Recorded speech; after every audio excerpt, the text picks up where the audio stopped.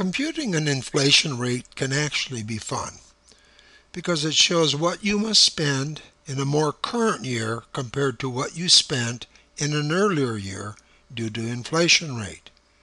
My form makes it very easy. First you select a start year. And as you see you can go as far back as 1913. Enter how much you spent in that year and then select an ending year. And by default the program is always going to show the most current year but you can select any year earlier. Let me show you how it works. Let's say you spent $3,000 for a family vacation back in 1972 and you want to know what that same vacation would cost your kids today if they were to take it. First we select our start year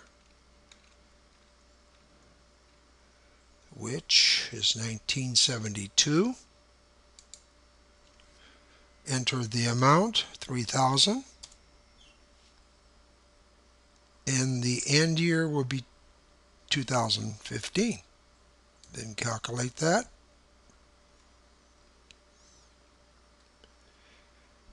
And there you have it.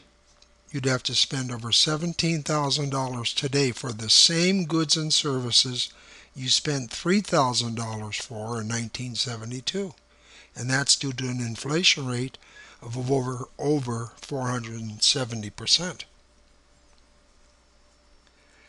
If you'd like to learn more about all 60 calculators, please visit the ProAPOD website. Thank you for watching.